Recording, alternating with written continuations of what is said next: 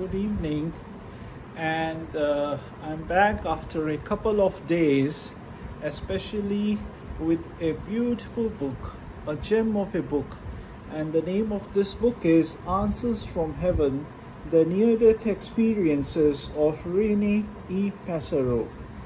Uh, ever since I heard, it was one of the first near death experiences that I came across. And ever since I heard Reinee speaking, I think there are only two uh, videos on the YouTube, both over an hour. And the moment you hear them, they transform you. And I was looking for the book. Uh, and it was with a lot of difficulty that I found it on Amazon. And thanks, Amazon, for that and uh, as you can see the moment i got the book i started reading rereading it and making a lot of markings. I like to have my own book and i like to mark in my own way. You know that is the best way to feel in personal contact with a book.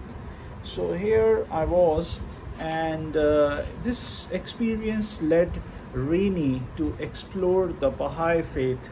Now, uh, uh, according to near death experiences, we are born in the faith in which we will grow spiritually more. And uh, especially uh, Dr. George Ritchie's beautiful near death experience, where he says Jesus showed him in the highest spiritual realms different monks engaged in reading scriptures of different religions just to know or just to understand how they felt about the supreme truth in different ways, different meanings, different cultures. So, yes, uh, it would be nice if the listeners here also could explain, uh, could experience uh, the or read and learn from the scriptures of other religions, uh, not merely their own. So, but uh, this experience, Reinee's experience, is a beautiful testimony uh, to the to the heavenly love that we all have in our lives. And especially uh, these words what she says regarding uh, suffering that you know her suffering uh, and she was bemoaning uh, to the heavenly beings about her suffering and then she was given a realization that it is to learn that we suffer.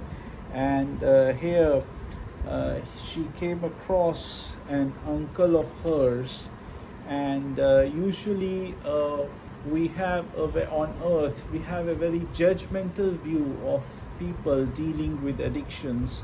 But she says that this is uh, one of the most uh, beautiful things i read about in her experience. And she says that in heaven she came to realize that the people who were most important were often the ones we might consider to be the least important in this world.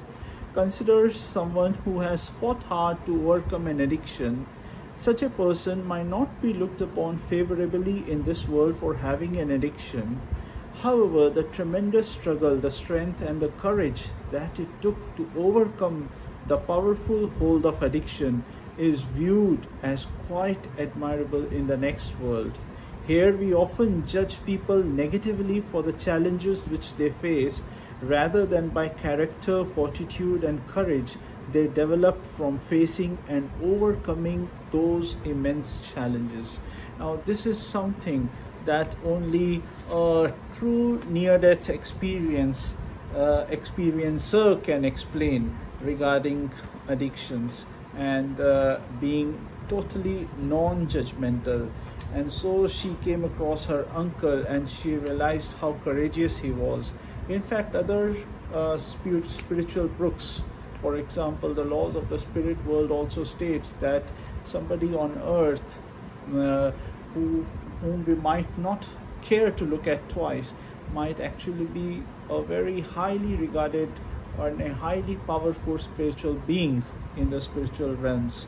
So uh, she says, I discovered that what was not important were the things in which we normally take greater pride in this world, like what I own, what I had learned intellectually, the awards I had received, status. None of these really mattered. So, in fact, even those people who encountered higher beings or Jesus or whatever the being of light uh, takes a particular you know they always ask what have you done for me? What have you done to show me? In the sense uh, all these things are uh, really uh, not at all taken into consideration. How you lived your life what cars you had how many homes you had and all these things. And that's why uh, it's not necessary whether you live a longer life or shorter life because ultimately it doesn't matter so uh, just let me read few more words uh, she says what will the uh, even more important than just the choices were my motivations, intentions, and the state of my heart.